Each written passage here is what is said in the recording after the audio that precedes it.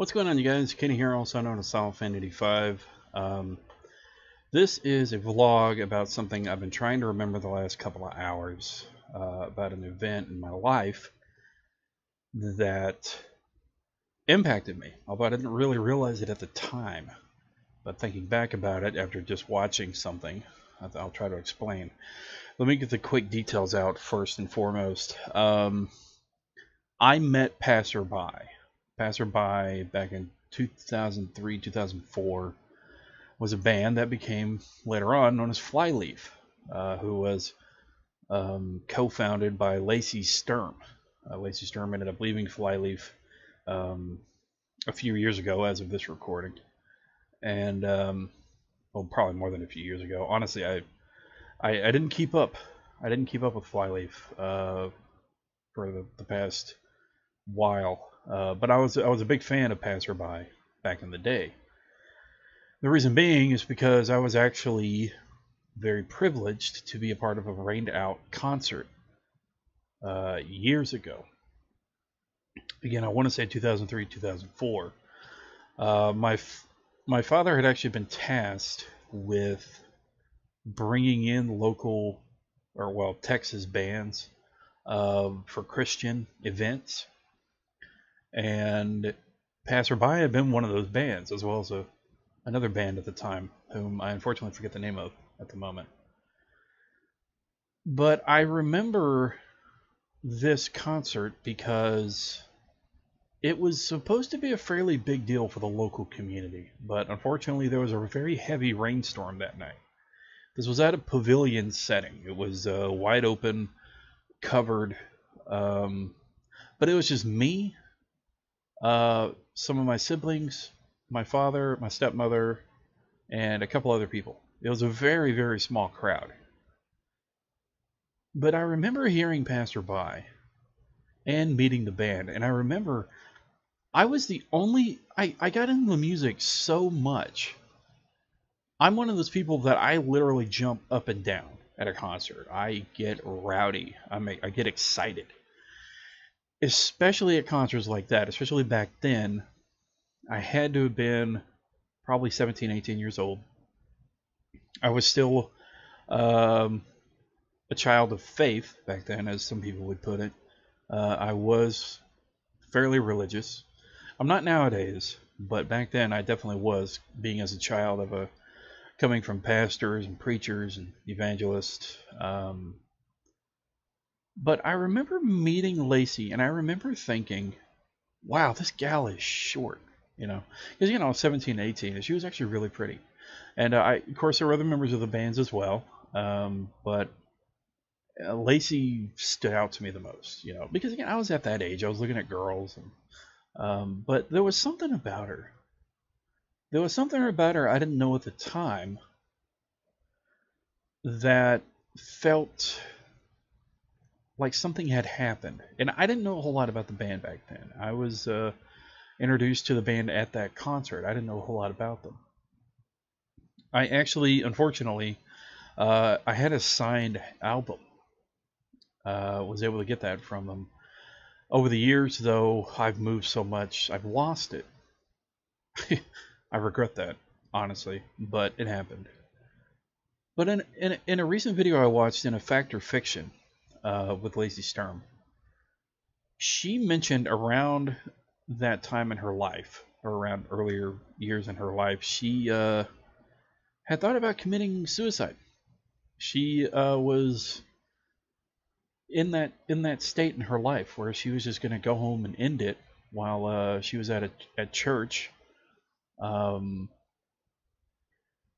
and somebody had stopped her on the way out of uh, that church, was telling her things that they shouldn't have known.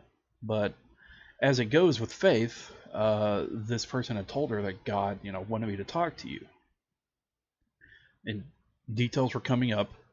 Uh, I forget the gentleman's name, but he saved her life uh, because of you know God speaking through him, and um,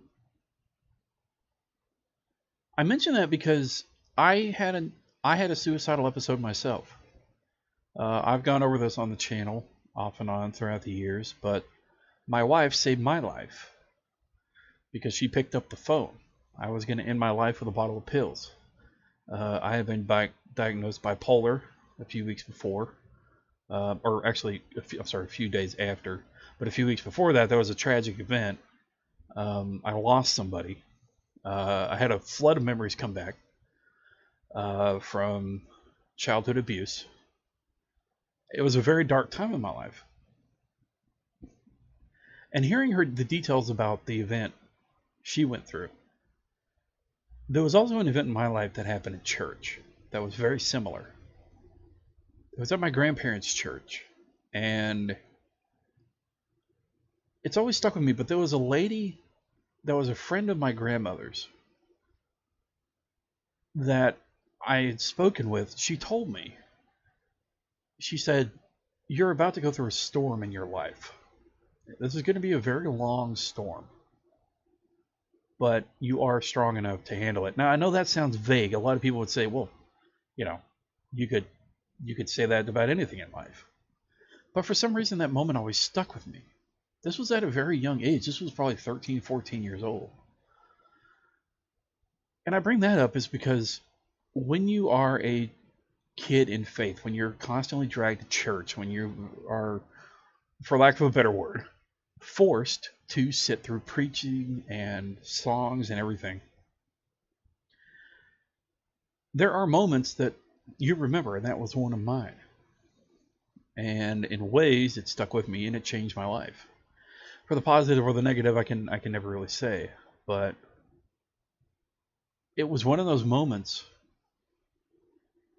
of meeting Lacey Sturm, of meeting Passerby, of being at that concert that was rained out, that hearing their music, jumping to their rhythm. I mean, it was insane, and that's always stuck with me. And I've never really talked about it because that part of my life, I I kind of blocked out a lot because I had been I had been going through a lot then. But I'd always remembered that concert. I'd always remembered the Passerby band. I'd always remembered Lacey Sturm. And there had to be a reason. And I think it's because she went through, before I met her, she went through something that I would go through later in life. And like I said, nowadays I'm not religious. But the universe does sometimes link people in a way. I'm not saying like I'm linked to Lacey Sturm, but that event in my life that she had been a part of in the universal state of things had had an impact on me at an age and had been become a link in the series of events in my life that is relatable. And it's such an awesome memory to me. It always will be. Um, and I just remember after the concert talking with the band. I actually got to meet them and there are just a couple of key moments that stand out to me. One is the concert itself in general. I remember the energy, even though there was rain pouring down, there was a storm going left and right. These guys were in a van at the time. I remember them unpacking the equipment, loading the equipment. But after the concert, they, I remember Lacey kind of not directly at me, but she was talking with somebody, I think it was one of my siblings or something, saying that uh, they remember that it just it was such a small concert, but the energy of seeing uh, that guy jumping up and down, which was me, uh, really kind of was awesome, and it's why they do it. You know, even though it was such a rained out concert, it was just it was a hell of a thing. It was a hell of an event in my life, and it's weird. I, I haven't really thought about Flyleaf throughout the years uh, a whole lot. I mean, again, I remember Passerby. I remember them being uh, changing into Flyleaf. My father, throughout the years, again, the one that organized the event. Um, I never really brought it up because I always felt that the concert might have been a disappointment for him because he worked so hard on public relations for it, on getting the word out and everything, and only to have the whole thing rained out. But that had all been done and I was able to attend. And that moment stuck with me throughout my life. It's been a very good moment in my life. There's been a lot of darkness in my life, but that was one of the lighter moments where Passerby was still at that point on tour. They'd been on tour for a couple of years before they became Flyleaf and got signed, uh, or you know had a big event, a really big breakout kind of thing. Um, and it'll always be just such an awesome memory, and it's really cool to feel that this person I met um, had had an event in their life that would I would later go on to have in mine. That would be an awakening. That would be a great darkness on me, but would also be an awakening. This is such a crazy thing. Anyway, I wanted to share this story. Um, I know people might find this weird, but hey, it's my you know it's my vlogs. Um, you know, ever since then, I've again in the in the in recent years, in the last eight nine years, uh, it, I've only ever heard Flyleaf. I you know I heard Lacey left the band, just brief details here and there, never really why, but um, just watching that interview and hearing her story, it kind of came flooding back. I wish I could remember the name of the town we were in. It was just a pavilion uh, in East Texas that had been rained out around 2002, 2003. And I don't know if she ever remembers that. I don't know if any of the bands ever remember it, but I definitely remember them. And it's just such a fantastic memory. And I'm really glad to see Lacey doing doing well nowadays as of uh, this recording. She had a son and probably has another kid for all I know but it'll always be a great memory for me. So anyway, I just wanted to share this with you guys. A bit long-winded, but uh, there was a lot to unpack. There was a lot to you know in detail and showing similarities between what um, somebody that I met at a young age that had an impact on me went through that I would go through later in life, and um, it's just those things that really hit you.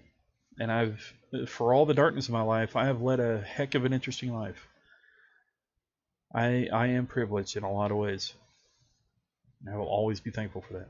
But anyway, thanks for watching. Be sure to like, subscribe, and comment. Remember, you're awesome. Never let the world tell you otherwise. See you.